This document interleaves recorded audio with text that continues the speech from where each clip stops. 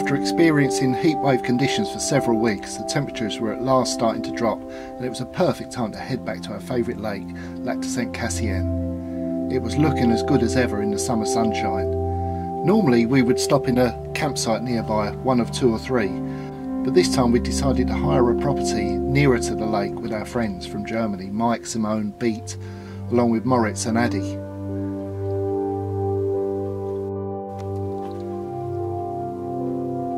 It was lovely to be back there chilling out with friends and enjoying the peace and quiet as well as the facilities like the fantastic swimming pool, with the lake looking fantastic below us.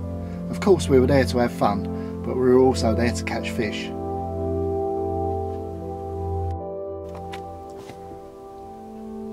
Our first plan was to bait an area at the top of the north. This would help us in two ways. Hopefully it would bring fish into the area which would stay there over time but also it was within easy reach of where we were staying. So instead of going to the boat ramp and loading vans and unloading vans every day we could literally just store some gear near the spots and just walk down every morning meaning that we'd actually have more time in the swim. Now a lot of the time the best bite time is actually right on last knockings of when we could stay to which was about half past nine. But because we were close by it meant we could stay those extra few minutes and hopefully get another bite or two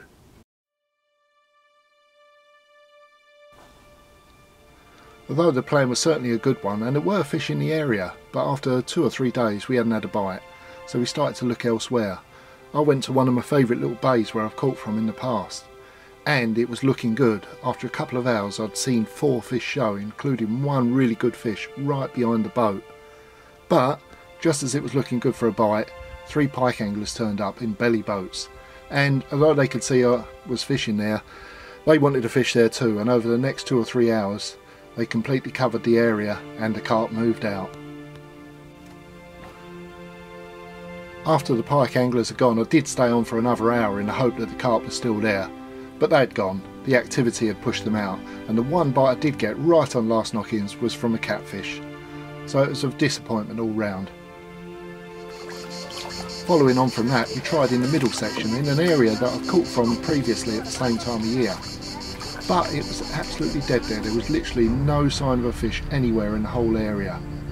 It was looking tough and we did wonder whether it was down to conditions. It was a full moon period and it's not our favourite time of the month to actually get the rods out but I've caught on Cassien in full moon periods before so I didn't think that was the problem.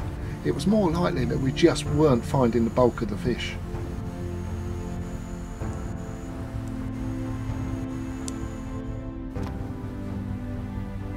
The short time that we had left, we finally found a fish and we got amongst them. I've finally got my Cassien carp for this trip and it was a beautiful mirror. I didn't even weigh it, but it was probably around up upper 20s, 30 pound and it was everything that I wanted.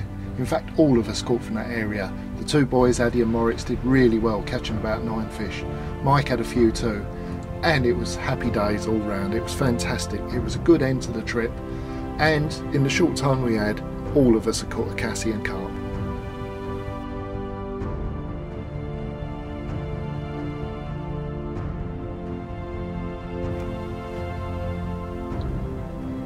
By all of our standards, it had been quite a short stay at Cassien, really, just a few days fishing, but we'd all caught, that was the important thing. The accommodation dictated that we had to move on, either to find somewhere else to stay or to move on to another water. The water we chose I hadn't been to for many, many years, but it was big, it was wild, and it was very low stock, so it was going to be a daunting challenge, but an exciting one. So the vans were loaded and we set off on the long drive to our new venue.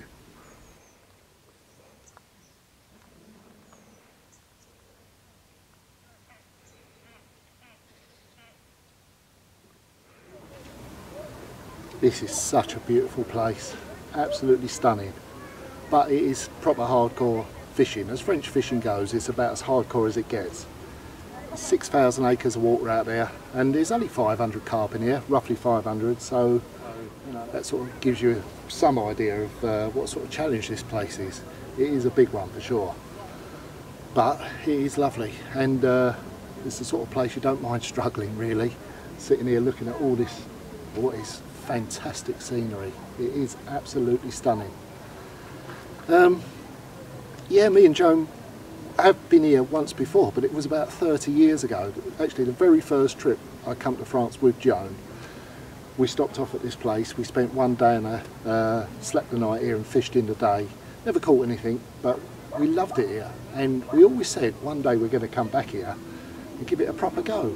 And all right, it's taken 30 years to get here, but um, yeah, we're here now and uh, different section of the lake to where we were that first time. But you know, it's, it's beautiful. There's lots of people about. It's holiday season, lots of tourists. Um, no anglers though. I haven't seen any other anglers, but not surprising given the challenge that's here. Lots of people come here and don't catch. You know, basically that's it. It's, it's a struggle. So yeah, I'm not expecting to catch really, but I'm going to give it a go. Um, I would love to get one from here because it would be so special if it's two pound or whatever. I mean, they go bigger than that, a lot bigger than that. But it would be very special to get one for sure. So, yeah, let's give it a go and uh, that's all we can do. Give it a, a, try and see what happens. You know, maybe I'll get lucky. Probably I won't, but um, what a place. What a place. It's so nice to finally get back here.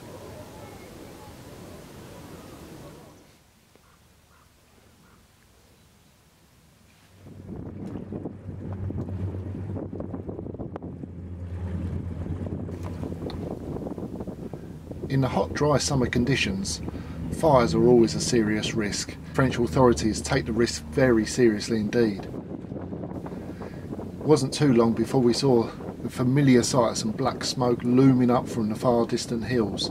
And there's only one really effective way of dealing with those fires, and that is by water plane in areas where it's not accessible by any other vehicle. The planes come down, they take water from the lake, and they dump it on the fire.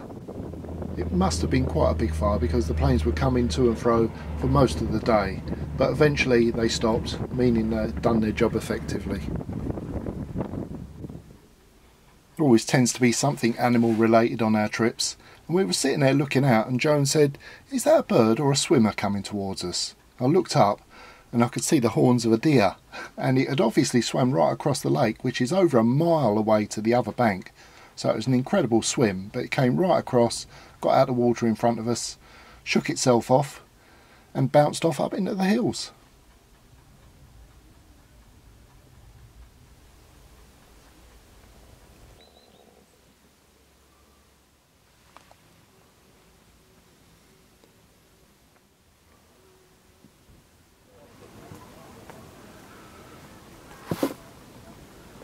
No point in any subtleties with this type of fishing. You know, it's very wild. The underwater terrain out there is pretty savage. There's loads of rocks and tree stumps, big weed beds as well, and uh, so you need tough gear for that. So I've got big, thick leaders, big mono leaders, braided mainline, and sub floats. Just cheap polystyrene floats, get them loads of shops. I got these in Poland actually. Cost about a euro for 10, so they're perfect. That just slides up and down the line, slides up to a backstop, uh, probably about 10 yards behind the rig, just keeps the line up over those rocks. Nice big lead, six ounce tractor lead that is, uh, on a lead clip, so I want that lead to come off if I get a take, if I get a take. And uh, so that the line rises up above the danger sort of area. Strong hook length, big hooks, there's no point in going sort of technical and you know like uh, too small on that front so yeah sixes fours twos I've got a two on here. Nice big hook bait. Scuttlehead squid of course. I've got some tiger nuts. Uh, I was thinking I might have to use them in case there's nuisance species about but it seems to be okay here actually. I know there's lots of chub in here but I've not seen them. Um, so yeah nice big 24 mil bottom bait with a 20 more uh, 20 mil pop up so a nice big snowman nice big strong rig and yeah if I hook one that's going to land it hopefully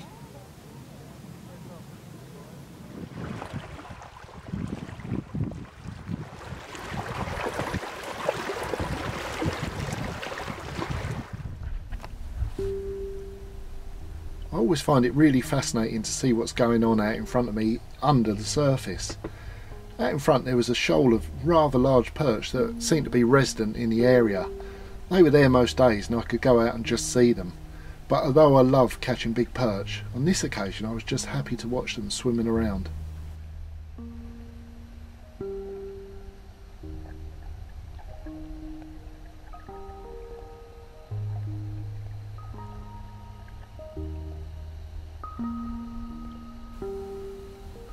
Looking for actual spots to fish was a lot more difficult than I'd first imagined. The underwater terrain was quite savage. There were rocks, boulders, tree stumps and all sorts of obstacles out there, as well as really large weed beds. And this was going to be a much more difficult prospect than I first imagined.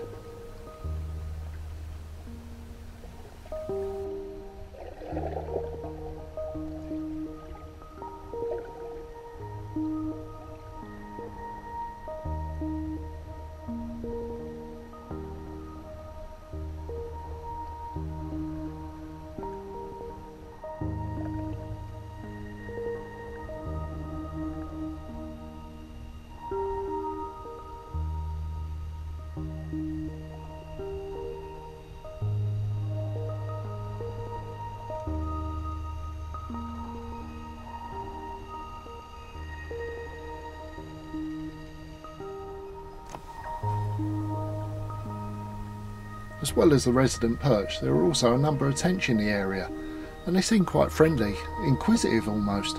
And when I'd go out and have a look around, invariably I saw one or two, sometimes four or five of them swimming around the area.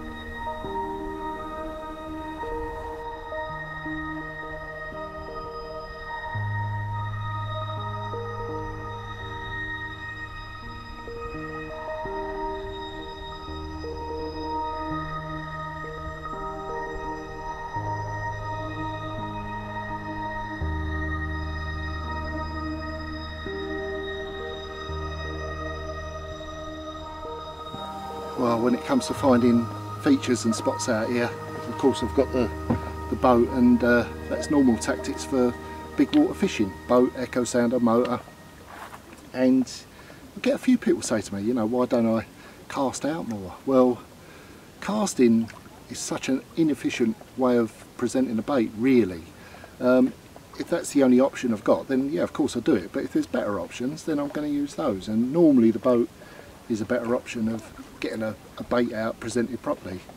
Here, the spots out here, for such a big lake, the spots are very small. And I'm not fishing very far, I'm only going to go 20 metres, something like that. And with crystal clear water, the best way of getting it out is actually one of them. So I'm, I'm swimming the rigs out.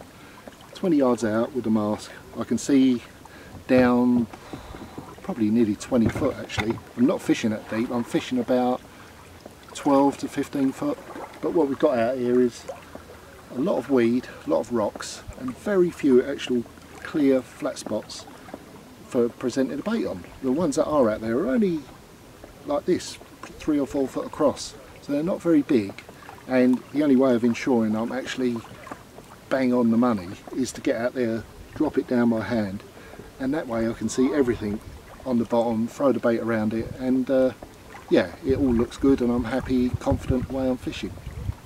So yeah, it's all about using the best, best methods that you've got available and uh, at the moment that's the best.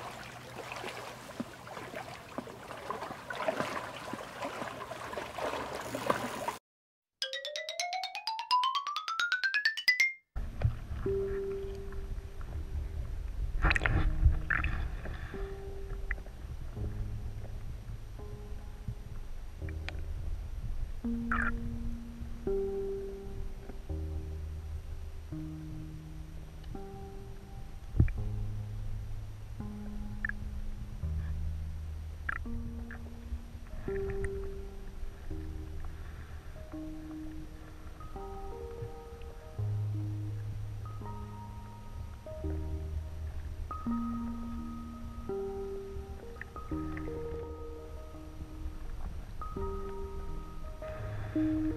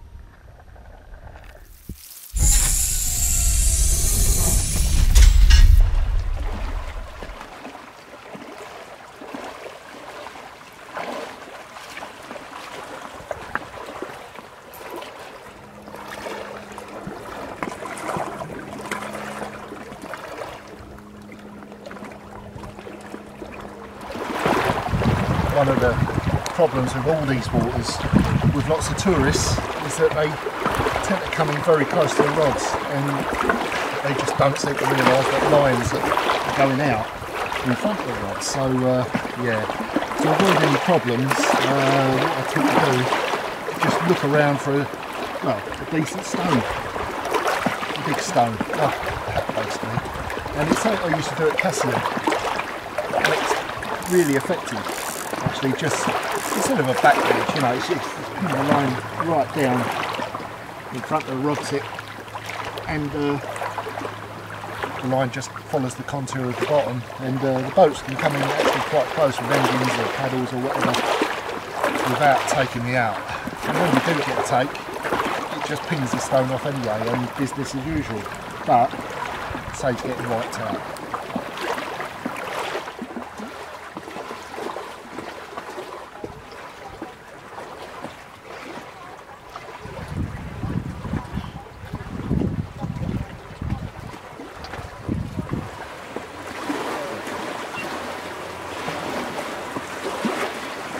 It's obviously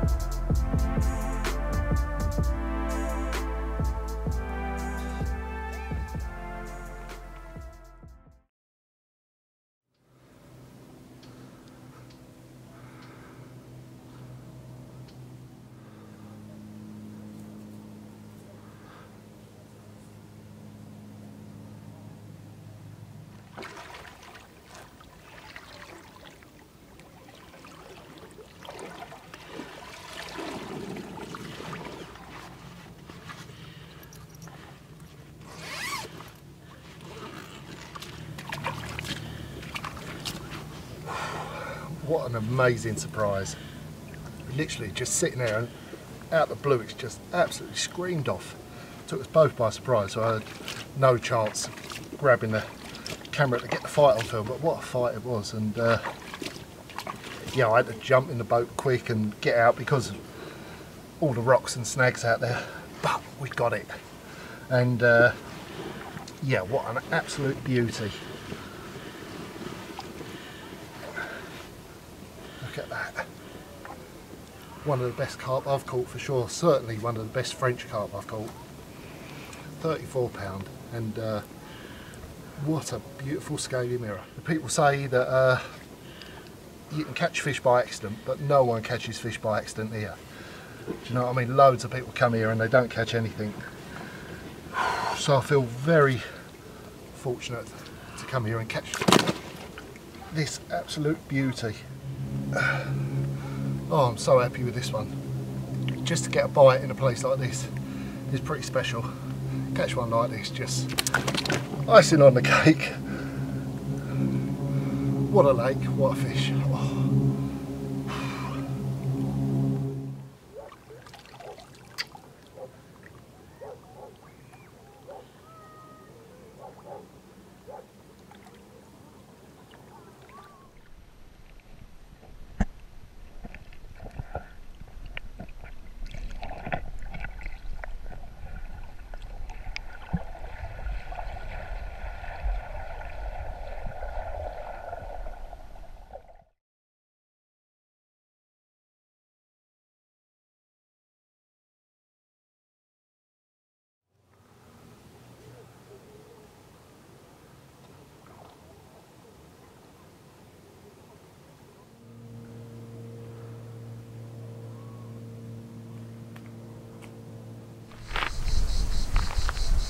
Right, there we go, all packed, all done for another trip. Only a short one this time, only five days here.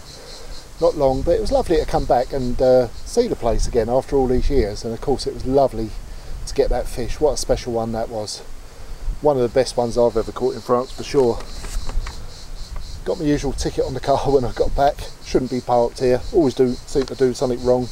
Uh, and the French love their rules, don't they? But um, no fine anyway, so that's the result but all done. Time to head off home plan for the next trip. So uh, that's it. See you next time